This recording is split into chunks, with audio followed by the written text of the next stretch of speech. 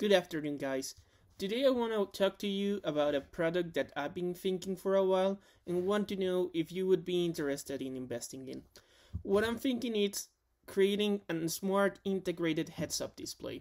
What is a heads-up display? A heads-up display it's a small screen that can reflect some of the vehicle data into our windshield so we don't have to look at like the cluster or at the infotainment system.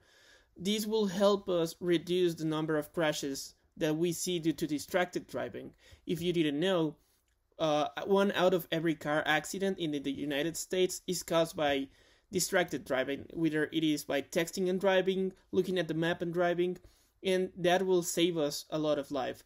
Well, the main gist of the product is we will have an OBD connector connected to directly to the OBD port within the car that will connect wireless to the cell phone and transmit the data that we need. So vehicle speed, engine speed, anything will go directly through the heads-up display and it will also show you infotainment data so that you can control it without looking at your phone or even at your infotainment system.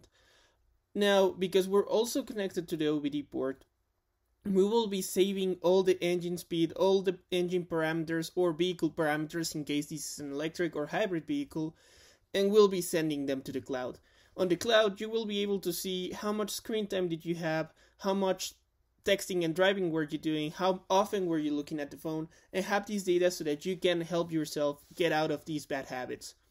Um, the pitch price is about 120 to 150 dollars.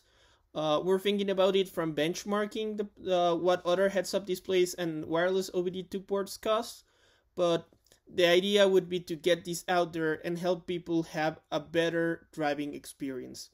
Hope that you like the product and hope to hear some feedback. Have a good one.